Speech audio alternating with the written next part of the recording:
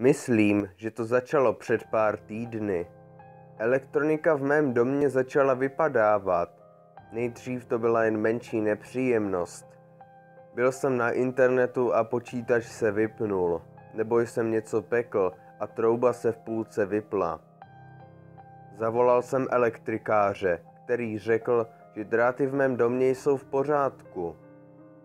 Nevěřil jsem mu a tak jsem volal další, ale všichni řekli to samé. Zkoušel jsem používat míň proudu v domění, že jsem to přetížil. Nakonec jsem se s tím naučil žít. Co upoutalo moji pozornost bylo, že si moji kolegové stěžovali úplně na to samé. Žena vedle mě říkala, že se jí vypnul iPod s plnou baterií a za pár minut zas naskočil. Brzo jsme o tom slyšeli ve zprávách.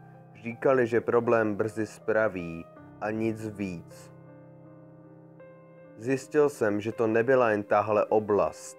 Dělo se to po celé zemi a jak jsem později se dozvěděl, po celém světě. Pak se věci zhoršovaly.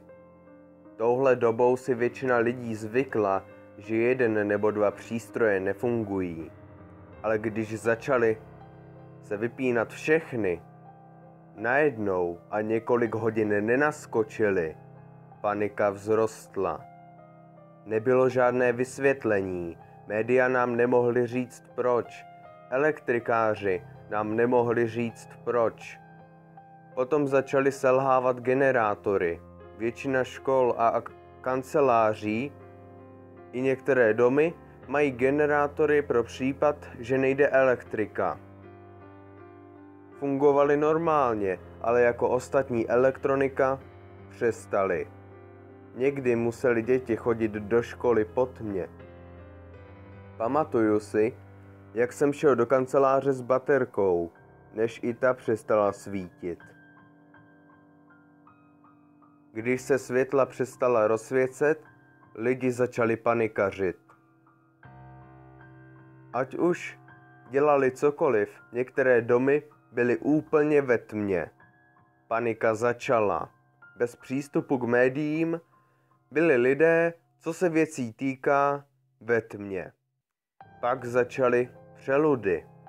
Lidi křičeli, že něco viděli nebo slyšeli. Žena vedle mě měla přelud. Asi to bylo dost špatné, protože si zašila oči. Aspoň jsem o tom slyšel, protože naše budova byla úplně bez elektriky.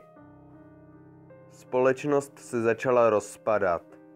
Elektronika drží náš druh ve světle, informované a zabavené. Bez téhle věci, no, viděli jsme, co se stalo. Přestal jsem chodit do práce. Nikdo nikam stejně nechodil, zůstávali doma, dělali si zásoby jídla a životních potřeb. Ve dne, jedinou dobu, kdy bylo světlo, jsem viděl muže skolabovat. Běžel jsem mu pomoct. Ale on začal křičet a mlátit do vzduchu. O bože, světlo, potřebujem světlo, rozsviťte, prosím. Bál jsem se jít k němu. Udělal jsem pár kroků, než mě zmrazilo na místě to, co řekl. Přijdou si pro nás, pokud nemáme světlo. Přijdou si pro nás všechny, muže, ženy, děti, každého.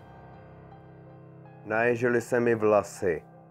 Jsem racionální osoba, ale jak ten muž křičel, ten pohled v jeho očích, cítil jsem, že to nebyl jen přelud. Zeptal bych se ho navíc, ale bohužel umřel. Nechtěl jsem ho tam nechat, ale nemohl jsem zavolat policii a nikdy jsem ho tady neviděl. Odtáhnul jsem ho na policejní stanici, i když jsem věděl, že tam nikdo nebude. Když jsem se vrátil, slunce už zapadalo.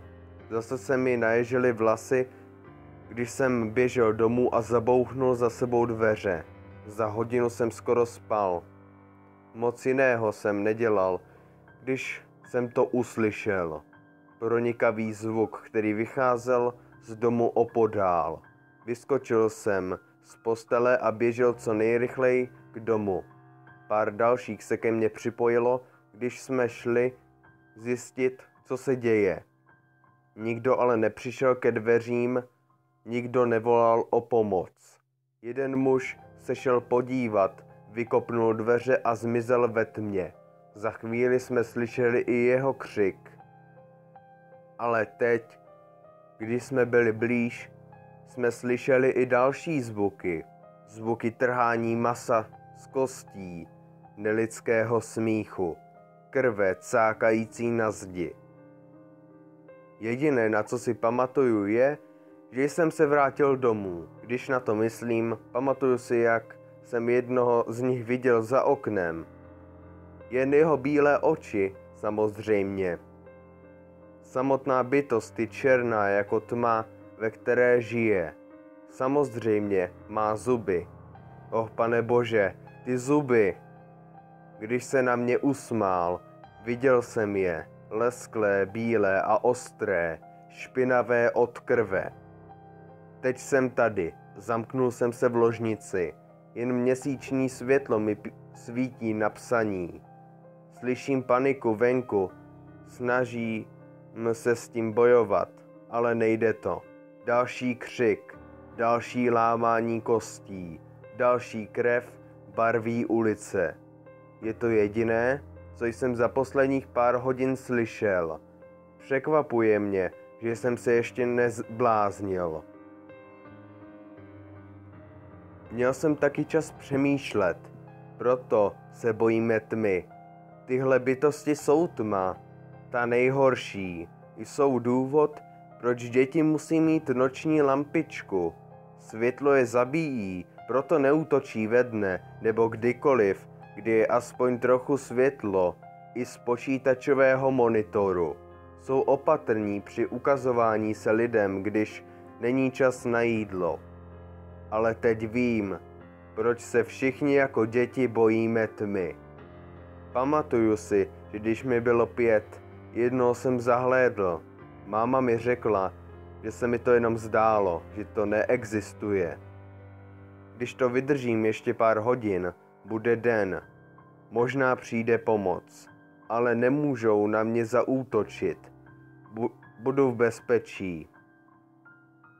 Ale to se asi nestane, protože je slyším na schodech. Jdou si pro mě a zamčené dveře je nezadrží. Skončím jak ti ostatní lidé. Teď drápou na dveře. Slyším jejich smích, jako by to byla jenom nějaká hra. Mám pistoli, ale je jich moc. Proč vypadly světla?